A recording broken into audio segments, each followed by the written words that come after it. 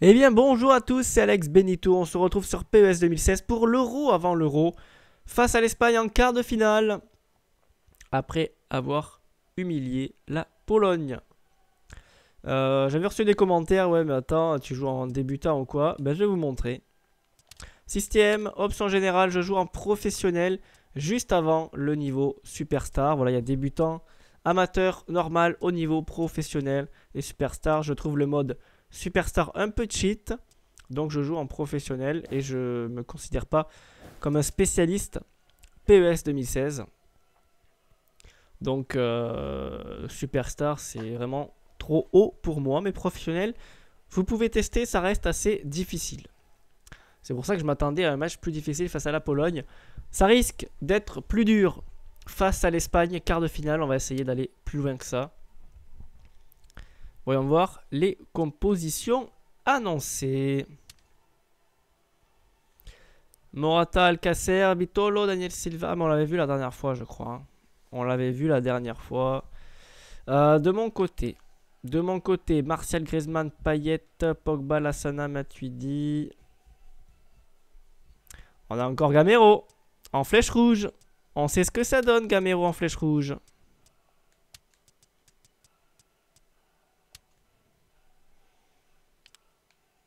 C'est parti. Coup d'envoi. C'est vrai qu'il y a eu la mise à jour. Euh, il va y avoir la mise à jour des maillots. C'est vrai que certains me l'ont dit. Attends, il n'y a même pas les vrais maillots de l'équipe de France. Il y a une mise à jour en cours. Qui va ajouter ça. Donc peut-être pour les demi-finales, si j'arrive à éliminer l'Espagne, il y aura peut-être euh, peut-être les nouveaux maillots. En tout cas, ça va pas être évident. Je m'attends à beaucoup plus de difficultés que face à la Pologne. Bien évidemment. Yoris, concentré avec ses gars qui vont le suivre. D'ailleurs, euh, bon, ben, je vous remercie de suivre cette série l'euro avant l'euro. C'est vrai que euh, beaucoup d'entre vous me suivez uniquement pour PES. Vous n'êtes pas vraiment fan de, Football Manager, donc je m'adresse à vous les fans euh, pour décaler euh, Benoît Trémoulinas. Position de centre, peut-être le premier du match. Vers Gamero L'ouverture du score de la première action. Kevin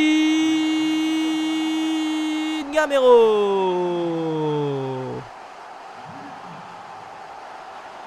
Mon dieu, j'ai pas le temps de finir une phrase. Qu'on a déjà ouvert le score, Gamero qui prend l'avantage sur Gérard Piquet, c'est quand même un peu bizarre.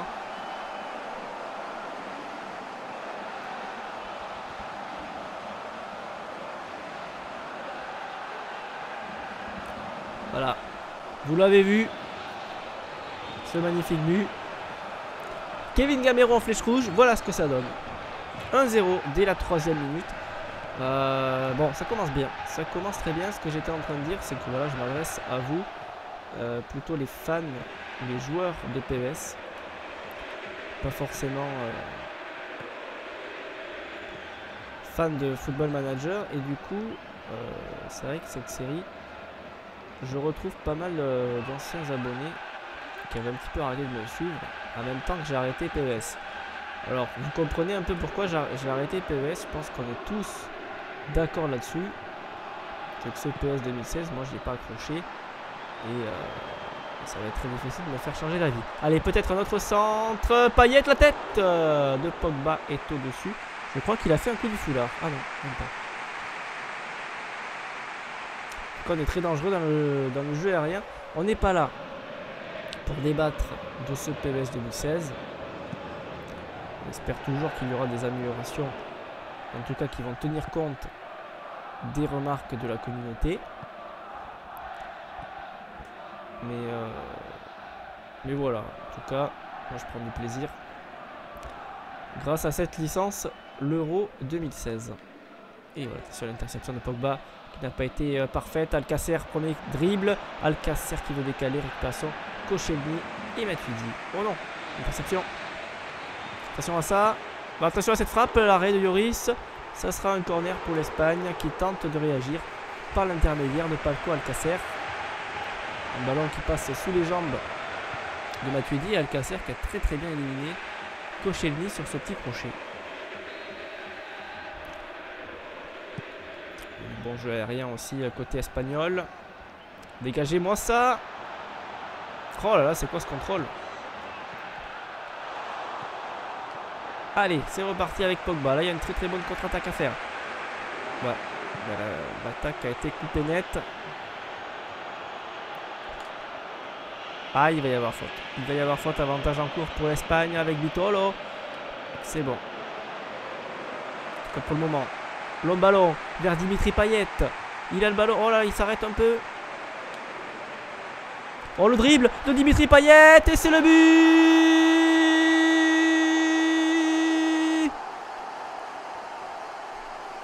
Je crois que le ballon a été contré. Et ça a trompé David De Gea. Déjà, Payet qui ralentit un petit peu sur le contrôle. Et qui va ensuite euh, éliminer Jordi Alba sur ce crochet. Et oui, je crois que la frappe a été contrée par Gérard Piquet, déjà fautif sur le but de Kevin Gamero. Donc là, voilà, hein, on se demande aussi pourquoi je, critique PVS. Mais là, normalement, c'est amorti poitrine et on accélère. Et là, il, arrête un peu le ballon comme un handicapé. Euh, là, le petit crochet sur Jordi Alba, on a aimé. Et la frappe qui part, euh, bah, qui part sur Derrea et qui est détournée du coude. Ah non, c'est Ramos. Qui est détourné du coude par Sergio Ramos. C'est malheureux.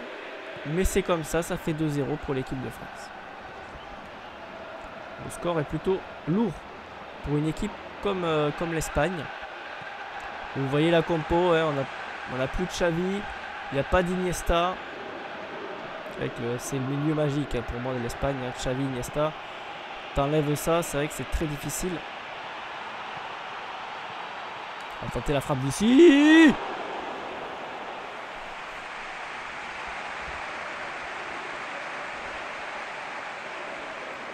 Et puis j'ai jamais été, jamais été un grand fan de, Fabregas.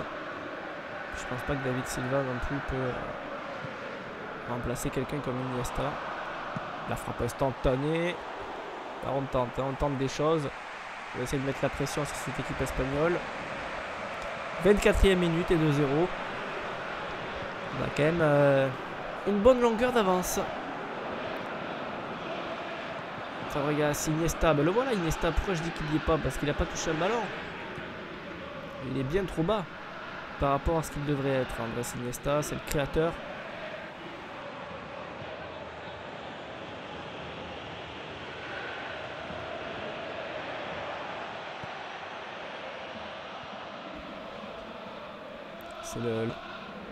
Pour euh, transpercer une défense. C'est André Iniesta. là, je trouve. Qui va essayer de trouver euh, David Silva. La frappe, l'arrêt de Yoris. Une fois. Ah putain, mais c'est pas vrai Dégage-moi ça. Il y a Anton Griezmann. de Pogba avec Griezmann. Il est seul. Il a, il a du champ. Il va pouvoir y aller. Et il accélère. Face à Gérard Piqué. J'arrive pas à passer. Bon, quoique, on va peut-être pouvoir la récupérer. Bon, c'est bien joué ça. C'est très bien joué. C'est bas jusqu'au bout. Griezmann. Piqué, euh, je le trouve vraiment pas super bon. Ce petit crochet là sur Juan Fran. Et l'accélération ensuite sur Piqué était sympa. Mais on a un excellent gardien en face qui est David De Griezmann, la tête s'est dégagée. Moulinas, oh, il va sortir. Pourquoi pas? Je vais la récupérer. La. On n'a pas trop vu encore. Las. On se retourne. Il hésite. Paillette. Crochet trop. Et Lasdiara qui va encore récupérer. Le centre est foiré.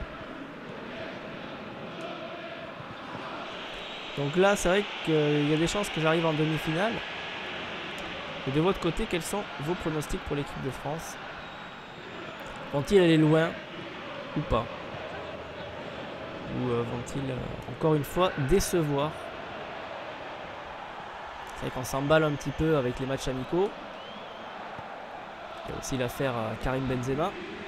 J'avais réagi sur Twitter à ce propos. Ah, il est en jeu. Karim Benzema qui ne participera pas, à l'Euro, en tout cas, c'est officiel, ça a été annoncé. Il ne peut pas être sélectionné par Didier Deschamps. Suite à des affaires, je ne sais jamais trop ce qui se passe vraiment. Ah, ça. Oh, il sort pas le gardien. Il sort pas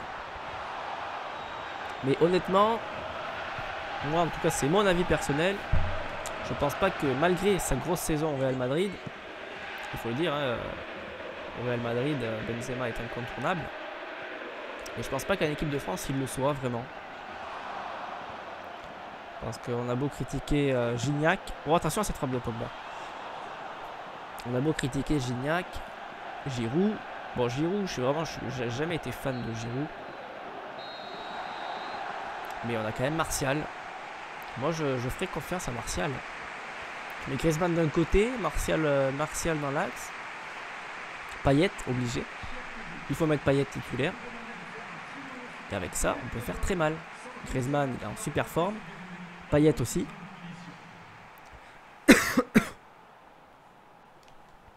Payet aussi. Euh, Martial, euh, on a vu ce qu'il fait à Manchester United, c'est du très bon.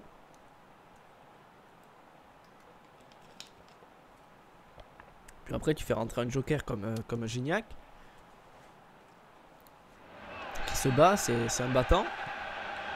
on peut faire quelque chose. Il y a, il Coman. Coman, bon, c'est plutôt un joueur de côté. Il y a vraiment, il y a vraiment de la qualité, je pense, pour 7 euros. À domicile, en tout cas, on peut faire quelque chose. J'ai plutôt confiance en cette équipe. Allez, on va pouvoir relancer avec la Senadera. Très bonne contre-attaque. Et l'on ballon vers Kevin Gamero, qui est plus rapide. Oh le petit lobe Et c'est le but Kevin Gamero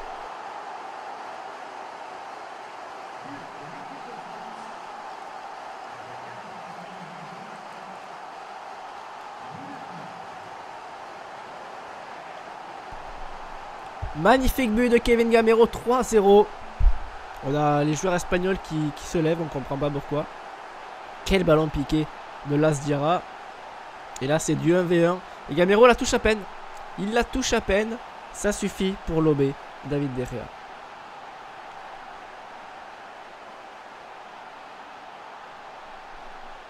Quelle ouverture. Quelle ouverture de Lasdiara. Et quelle finition surtout. Quelle finition de Gamero.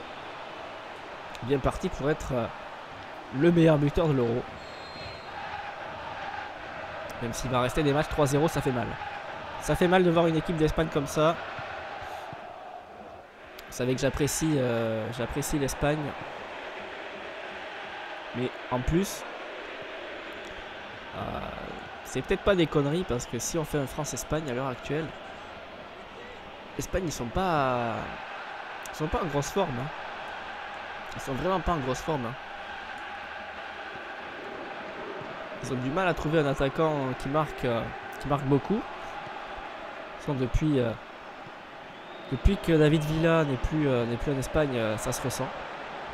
Ça se ressent beaucoup. On sait que bon, mais Xavi, on peut plus compter sur lui. Hein.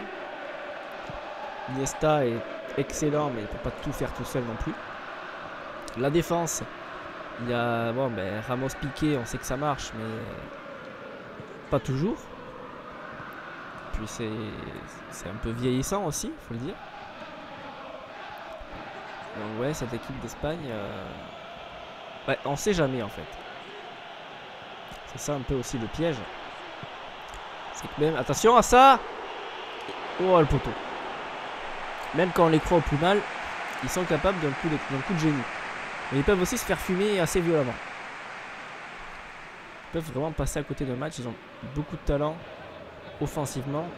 Mais ces derniers temps, j'ai l'impression que la défense, c'est moins solide qu'auparavant. Après, c'est vrai que, bon, ils ont eu un âge d'or. Les équipes, euh, en tout cas, commencent à trouver la, solution face à la tactique espagnole, à savoir ben, la possession de balle, le jeu rapide à une touche de balle. Ça, fonctionne, ça a fonctionné un certain temps. Mais les entraîneurs arrivent à contrer ça. Attention Attention à Kevin Gamero Kevin Gamero encore Ah, j'ai poussé le, ballon trop, ouais. Mais là, s'il met un triplé, euh, c'est même plus la peine. Est-ce qu'il faudrait passer en mode superstar? Ou est-ce que c'est que l'IA est vraiment trop nul, quoi? Je me demande, je joue en pro, imaginez en débutant. Je joue en professionnel, qui est le niveau le plus dur, derrière superstar, qui est le niveau, le, enfin, cheat pour moi. Alors la question est, est-ce qu'il faut jouer en superstar? Faut-il jouer en superstar pour faire quelque chose? La Pologne, on les a écrasés. Je m'attendais vraiment à plus de concurrence de la part de l'Espagne. Et on leur met quand même 3-0. Peut-être qu'ils vont réagir avec un but. Mais pour le moment, c'est pas très compliqué. En plus, je fais des erreurs. Hein. J'aurais pu en mettre 4 ou 5. Hein. Allez, Griezmann qui accélère. Il a du jus et il va y aller tout seul puisque personne vient sur lui. Personne sur Antoine Griezmann. Ah Allez, c'est pas terminé. La frappe Le poteau et Kevin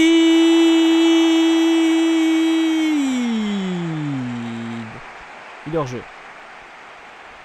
Je l'ai compris tout de suite. Gabero est hors jeu. Cette frappe de Griezmann. Allez, on va faire les changements. On va faire les trois, tiens. On va faire les trois. Pogba, Sissoko. J'ai envie de faire jouer Martial. Et c'est peut-être tout pour le moment. Bon, on va faire rentrer Coman aussi. Coman qui va rentrer à la place de Payette. Allez Vas-y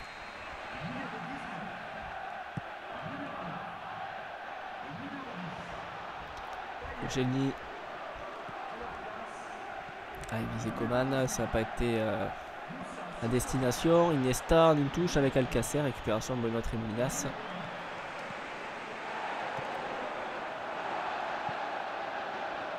Oh, récupération euh, Martial en une touche, Griezmann.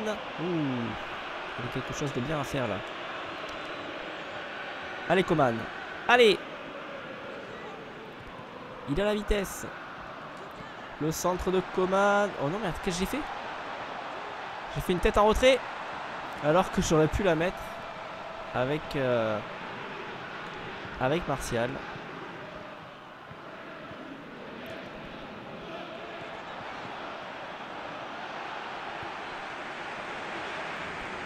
L'habitude des touches FIFA ça. Martial. On essaie de dribbler. Oh c'est beau. Oh c'est beau. Putain, dommage.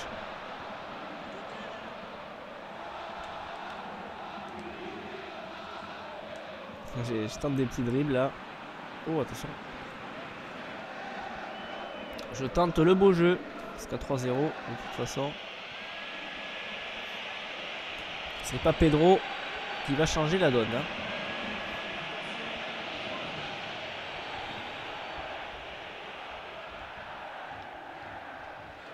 Longue touche justement vers Pedro. Il tente un contrôle et il perd déjà le ballon. Pas facile de rentrer dans ce genre de match. 3 minutes de temps additionnel avant une demi-finale qui sera notre adversaire. Attention, Trimolinas qui perd le ballon. Pedro. Pedro qui va s'avancer. Le but Pedro Il m'a fait mentir. Il m'a fait mentir. Il vient de rentrer. Bon, bah, il sauve l'honneur. Hein. Ça sert à rien de s'exciter comme ça, les gars. il sauve l'honneur. Mais ça reste un score assez lourd. Petite erreur, ouais. De Tremolinas. Qui le ballon face à Isco.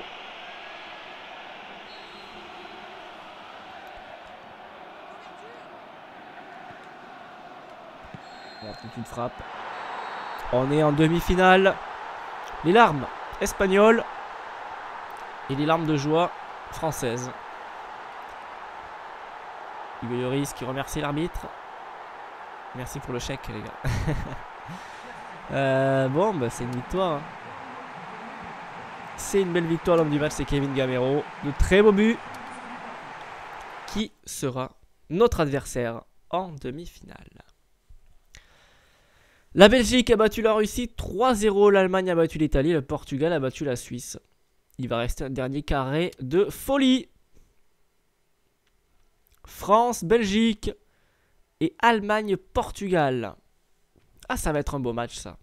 Ça va être un beau match. Je sais qu'il y a beaucoup de Belges qui me suivent, qui regarderont cette vidéo. Ça va vraiment être une belle confrontation, ce France-Belgique. Euh, je sauvegarde et je vous dis à très bientôt pour cette demi-finale. Salut à tous